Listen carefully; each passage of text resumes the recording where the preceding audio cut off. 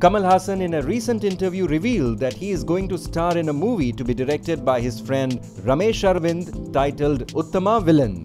The movie would be scripted by the actor himself, which will be supported by Crazy Mohan, who is going to write the dialogues for the film.